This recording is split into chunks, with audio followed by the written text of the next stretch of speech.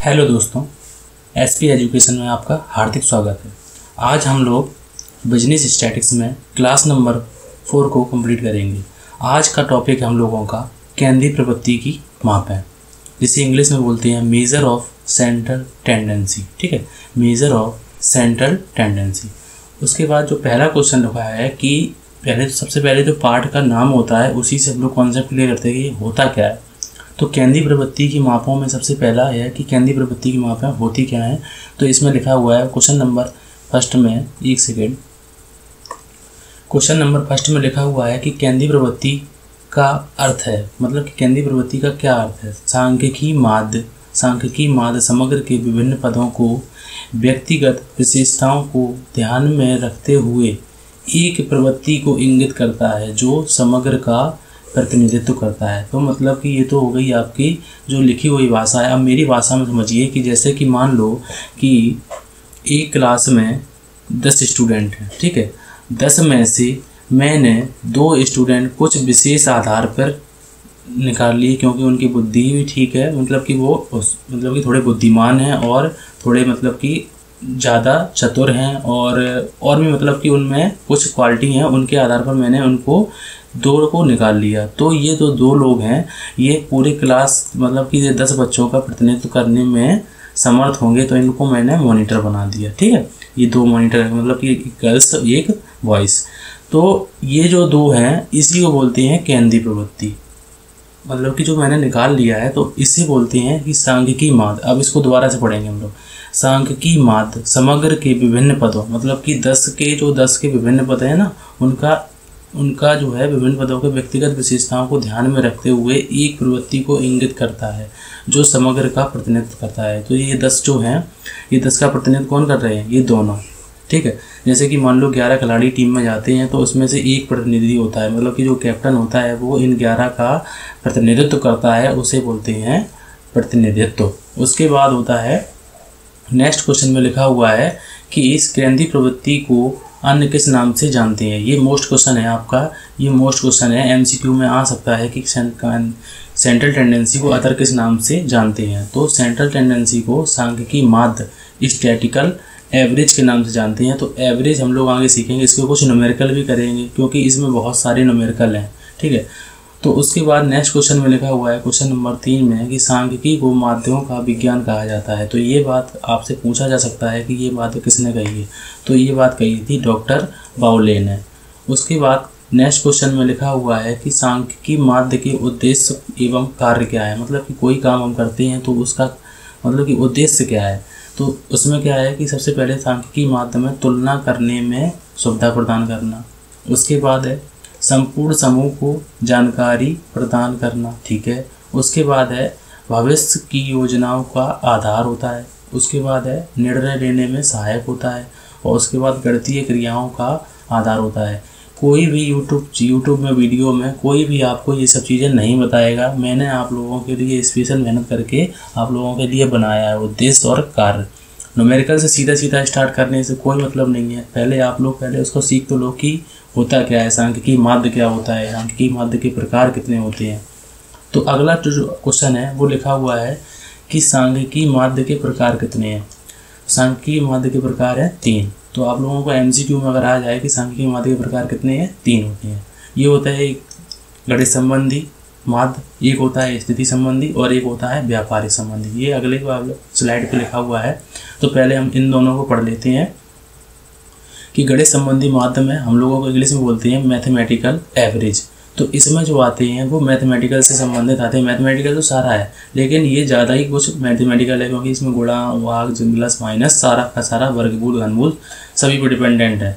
तो सबसे पहला नंबर है हम लोगों का समांतर माध्य समांतर माध्य को इंग्लिश में अर्थमेटिक मीन या फिर एवरेज भी बोलते हैं। इसे इंग्लिश में अकेला मीन भी बोल देते हैं। और इसका जो साइन है, वो इस इससे एक्स पे बार लगा के इसको इंडिकेट करते हैं। उसके बाद है गुणोत्तर माध्य हम सबके, इन सबके जो है न्यूमेरिकल करेंगे। अगले अगले वीडियो में, एक वीडियो में अगर बना देंगे तो वीडियो बहुत बड़ा हो जाएगा। इसलिए मैं छोटे छोटे टॉपिक उठाया करूँगा।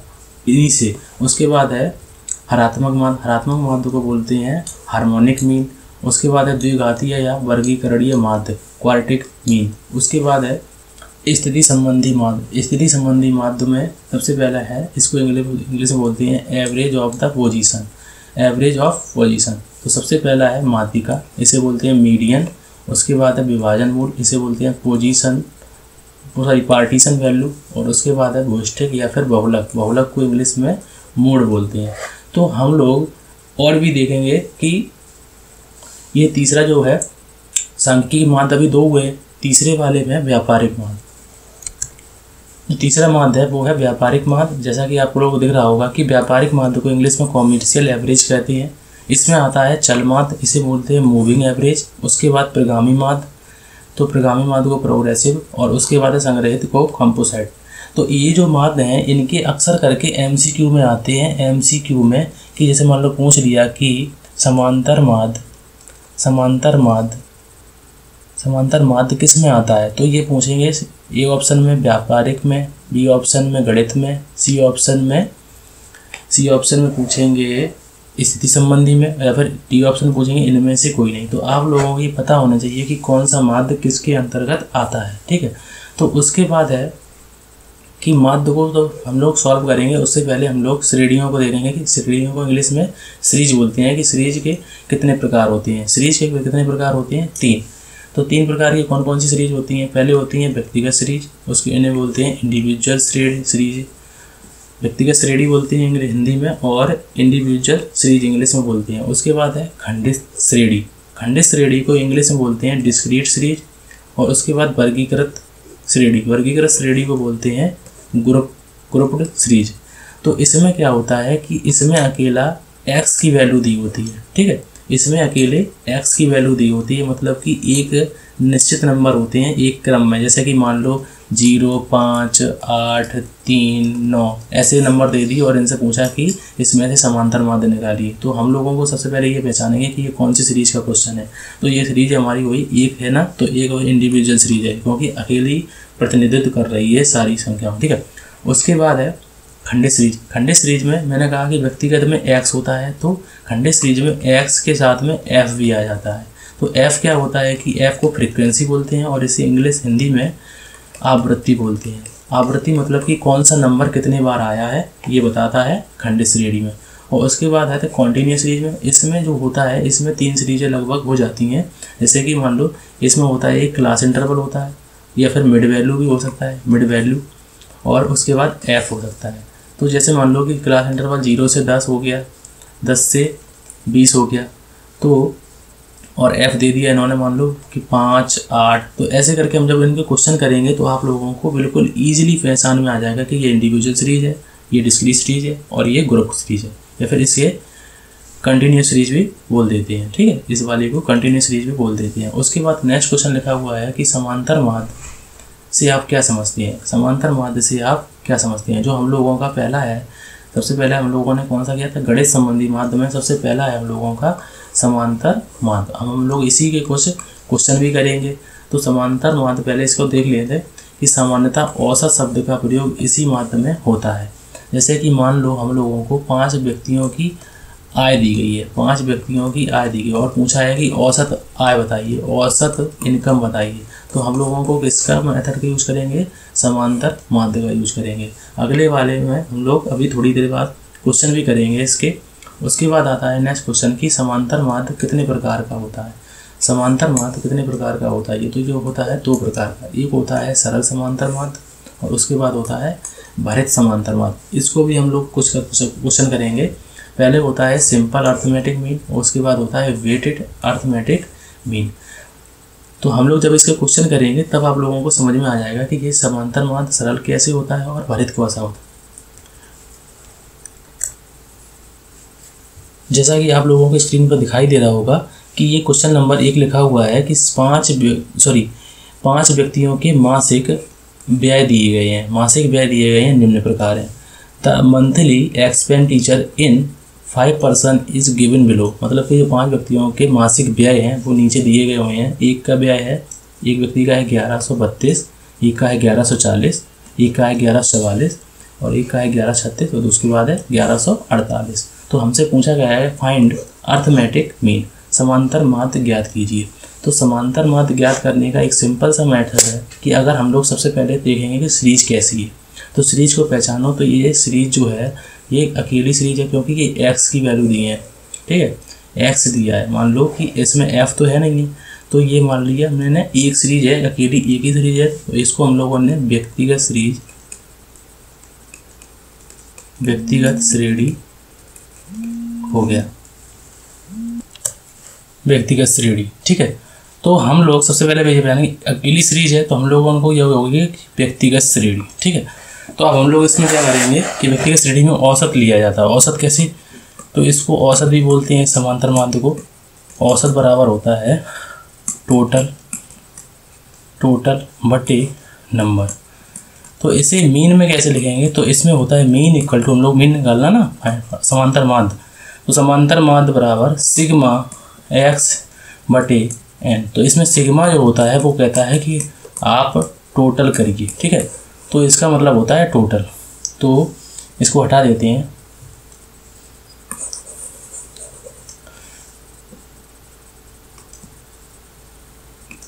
और उसके बाद है कि सबसे पहले हम लोग इनके टोटल करेंगे तो इनको एक साइड पर लिख लेते हैं।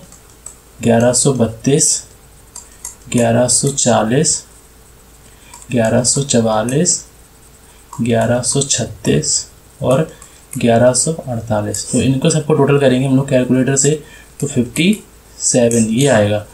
सत्तावन सौ आ गया, ठीक है? अब उसके बाद है कि नंबर तो नंबर सबसे पहले गिनेंगे कि नंबर गिन लो। One two two three four five तो बोला भी गया है कि पाँच व्यक्तियों नंबर कितने हो गए? पाँच। तो एन इक्वल टू हम लोगों का पाँच। अब इसको हम लोग डिवाइड करेंगे इससे तो फाइव बन जा फाइव फाइव बन जा, फिर से फाइव और फाइव फोर जा ट्वेंटी तो ये आ गया। तो मीन इक्वल टू आंसर आया है ग्यारह सौ चालीस। तो इसी को मीन को दूसरा नाम बोल सकते हैं। इसको दूसरा नाम बोल सकते हैं औसत, और औसत को इंग्लिश में बोलते हैं एवरेज तो ये एक क्वेश्चन हो गया। तो अब हम लोग इसका दूसरा क्वेश्चन करेंगे। जैसा कि आप लोगों को दिख रहा होगा कि एक स्कूल के सौ विद्यार्थी हैं। कितने स्टूडेंट हैं? सौ। हंड्रेड स्टूडेंट हैं तो एन इक्वल टू हम लोगों का हो गया। पहले ही से एन हो गया हम लोगों का सौ। ठीक है? उसके बाद लिखा है कि एक समारोह में निम्न चंदा दिया। तो मतलब कि विद्यार्थियों ने निम्न चंदा दिया। तो कितने कितने विद्यार्थी हैं? सबसे पहले तो देखो कि हम लोगों को एक्स अब देखो दो सीरीज़ हो गई हम लोगों की। एक हो गई हम लोगों की, ये हो गई हम लोगों की एक्स ठीक है? ये जो पाँच, चार, तीन, ये करके दिया है। ये चंदा तो दिया है, ये हो गई हम लोगों की एक्स और एफ़ जो होती हैं, वो होती हैं नंबर। तो नंबर तो यही है कि दस विद्यार्थियों ने इतने रुपए दिए, पंद्रह ने इतने रुपए दिए, उसके बाद तो ये हो गई हम लोगों की एफ़ तो हम लोगों को ये हो गई हम लोगों की डिस्क्रीट सीरीज़ इसे बोल सकते हैं हम लोग खंडित श्रेणी। अब खंडित श्रेणी में मैंने बोला था आप लोगों को एक्स के साथ में क्या आ जाता है? एफ़ और आ जाता है। तो एक तरफ़ एक्स लिख लेंगे हम लोग। एक्स हम लोगों की पाँच, चार, तीन, दो और एक। ये हम लोगों की एक्स हो गई। और एफ़ जो लिखी हैं, वो लिखी हैं नंबर में, जो एफ़ होती हैं, वो नंबर में होती हैं। तो एफ़ लिख ले रहे हम लोग साइड से। तो एफ़ हैं दस, पंद्रह, चौबीस, तीस और इक्कीस। ये हम लोगों की एफ़ हो गई। और एफ़ का जो टोटल आएगा, इनका वो आएगा हंड्रेड क्योंकि बोला गया है ई एफ़ है हंड्रेड वो उसके बाद आता है कि क्वेश्चन में समस्या ये आई कि अब हम लोग जो मीन निकालें इसमें बोला है ना कि find average donation per student मतलब कि एवरेज डोनेशन पर स्टूडेंट पूछा गया है। तो हम लोग ये जो एवरेज है, इसी को मीन बोलते हैं। अब मीन निकालें तो निकालें कैसे? क्योंकि व्यक्तिगत सीरीज़ में हम लोग क्या करते हैं कि एक सीरीज़ का टोटल कर लेते हैं और इसी से नंबर से भाग देते हैं। अब इसमें तो ये होगी दो सीरीज़ है। तो ये एक समस्या हो गई कि ये दो सीरीज़ हैं हम लोग करें क्या? किसमें किसका टोटल करें? तो हम लोग एक नई सीरीज़ बनाएँगे, उसे बोलेंगे एफ़ एक्स एफ़ और एक्स अब एफ़ एक्स बनाएँगे तो इसमें क्या करेंगे कि ऐसी सीरीज़ बनाएँगे जो इन दोनों से कंट्रीब्यूशन हो उसमें। तो दस पंचे पचास, इसका मल्टीप्लाई इससे करेंगे, उसके बाद पंद्रह चौको साठ, उसके बाद चौबीस दिया बहत्तर, और उसके बाद तीस दूनी साठ ये साठ है, ठीक है? और उसके बाद इक्कीस एकम इक्कीस। तो इनका हम लोग अब करेंगे टोटल अब इनका, इनसे हमें कुछ नहीं करना। अब हम लोग को ये हम लोगों की जो सीरीज़ है, ये नई सीरीज़ बन गई हम लोगों की। तो इसका हम लोग करेंगे टोटल इसका कैलकुलेटर से टोटल करेंगे तो इसका जो आंसर आएगा, वो आ गया हम लोगों का दो सौ तिरसठ रुपये तो सिग्मा सिग्मा एफ़ एक्स बराबर हो गया हम लोगों का दो सौ तिरसठ अब सिग्मा एफ़ एक्स मतलब कि हमने आपको पहले बताया था कि सिग्मा मतलब टोटल और एफ़ एक्स का मतलब ये इसका टोटल इसका टोटल ठीक है? एफ़ एक्स तो इसका जो टोटल आया वो दो सौ तिरसठ आया। सिग्मा एफ़ एक्स बराबर ये हम लोगों ने लिख लिया कि सिग्मा एफ़ एक्स बराबर एन ठीक है? तो एफ़ एक्स का हम लोग मान कर चुके हैं दो सौ तिरसठ रुपये और एन जो है हम लोगों की वो हमने पहले निकाल ली, सौ है। तो इसमें जब हम लोग दो में इस संख्या का भाग देंगे तो इसमें बस कुछ नहीं, दो पॉइंट लग जाएँगे। तो दो पॉइंट सिक्स थ्री तो मीन का जो आंसर आया, वो है टू पॉइंट सिक्स थ्री यही हम लोगों का आंसर है। तो आशा करता हूँ आप लोगों की समझ में आया होगा। अगले वीडियो में मैं आप लोगों के लिए और भी न्यूमेरिकल इसके लेके आऊँगा। तो अभी मैंने फ़िलहाल कुछ कुछ क्वेश्चन लिए हैं। आगे मैंने अगले वीडियो में और भी लेके आऊँगा। अगर आप लोगों को स्टैटिक्स से संबंधित कोई भी जानकारी प्राप्त करनी है तो आप लोग कमेंट कर सकते हैं। Thank you for watching